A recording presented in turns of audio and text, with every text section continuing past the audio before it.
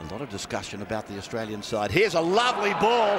Michael Buettner has Robbie O'Davis chasing him. Now he turns it in. Here's the flying Scott Donald. Donald's away. Quinn's after him. Doesn't get him in time.